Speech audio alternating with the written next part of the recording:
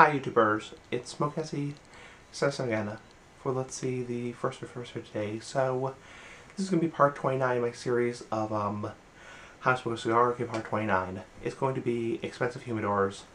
Now last video we, we covered uh, cheap humidors, like desktop humidors. Now we're covering expensive humidors. Now these humidors that are expensive, I would say, are I would define expensive humidors as more than $50, more than $100. Now you can spend a lot of money on a humidor, don't get me wrong. You can spend anywhere from an expensive humidor $200 to $5,000. Now, like I said in my last video, the real difference between cheap, moderate, and expensive humidors is not only the quality of the wood, the quality of the cedar, the quality of the storage quality, quality, but it's also how many cigars fit in a humidor. Now, most humidors nowadays will fit, you know, a, a nice big humidor might fit 50 cigars, 100 cigars, something like that. It's very hard to find humidors that fit like more than 200 cigars.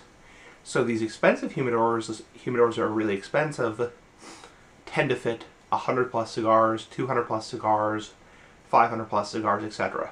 Now, like I said, the more space the humidor, the, the bigger the humidor, the more the more expensive it will be. So, these humidors, there's really no name for them. They're just called humidors. There's really no special name for them. They're just really, really big humidors. I have a I have a bigger humidor that I use for my cigars. It's right over there on my um, desk table right there. It's probably about this big, so it can probably fit um, 50 cigars or so, 40, 50.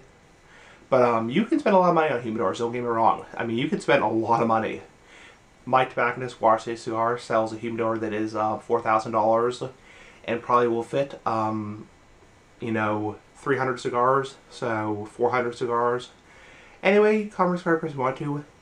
And we're, get, we're actually getting close to the end of the section one of the How to Smoke Cigar, so we're pretty close to the end of section one. So section two will start pretty soon. Anyway, bye.